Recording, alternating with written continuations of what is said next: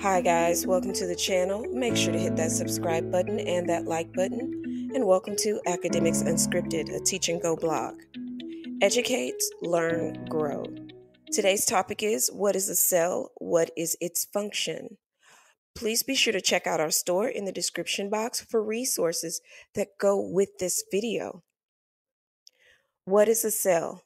A cell is the smallest structural and functional unit of an organism. Think of a stack of bricks. If you get enough bricks, you can build a house. If you get enough cells, you can build a human or any other living thing.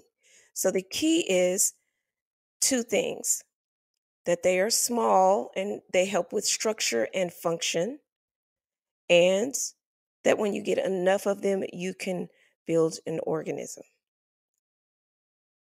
There are many cell types. All cells are not the same. Different cells have different functions.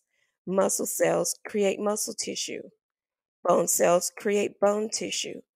Brain cells create brain tissue. What is the function or job of a cell? And there are several.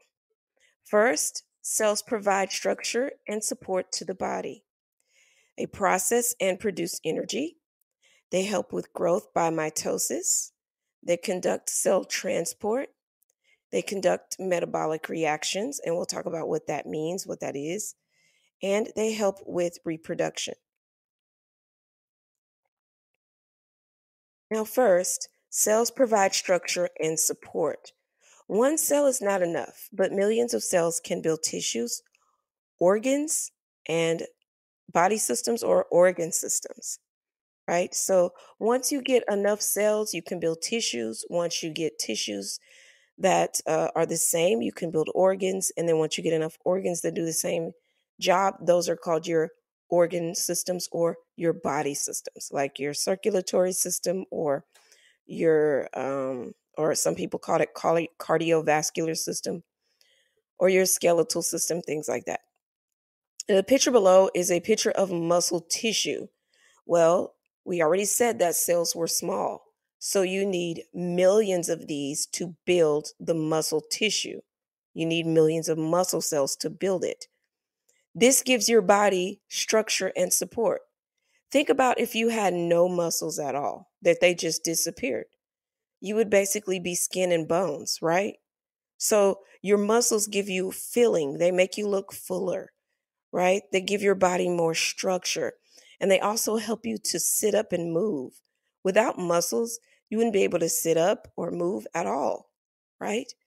You would just uh, be stuck there. Okay. So your muscles provide you with structure and support, or your cells, rather, since they build your muscle and other things, provide structure and support to the body. Cells process and produce energy. Think of the food that you eat.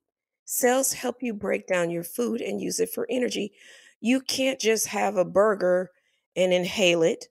It has to be broken down. So you start off by eating it, chopping it in pieces, swallowing it. Your stomach breaks it down, beats it down, churns it up, and turns it into a chemical uh, form so that your cells can use that for energy because in the form it came in, it won't work. It has to be in a uh, chemical form so that the cells can use it, right? So that's what cells do. They they process the food and then they produce energy for you from that food. Cells help with growth by mitosis, right? So how do your cells grow?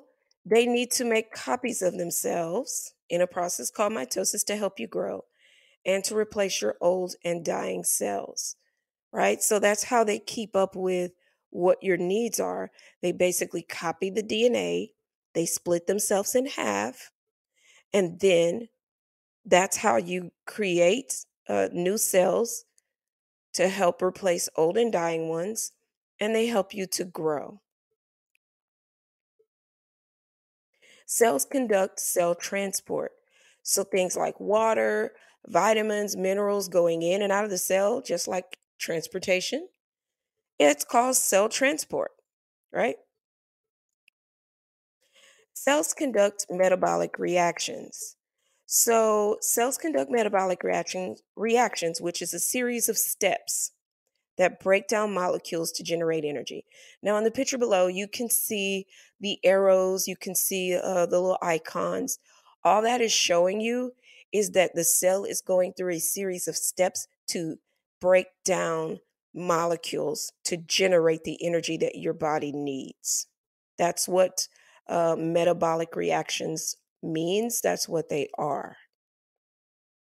Cells help with reproduction. Reproduction, right? Remember that reproductive cells, there are different types of cells, right? And these are called gametes or egg and sperm.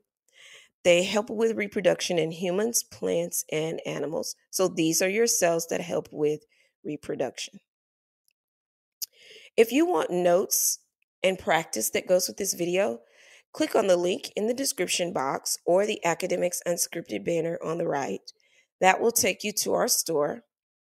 The academic vocabulary used in this video is listed right here. All right, so thank you guys for coming to aKademics UnsKripted. If you want more of our biology or science based videos or even our math videos that have resources that go with them, or any of our other academic subjects, look in our uh, playlist to see all our content and links to our store. Thank you for coming to aKademics UnsKripted. Hit the subscribe button and the like button. And we appreciate that, guys. Educate, learn, grow. Have a good day. Bye bye.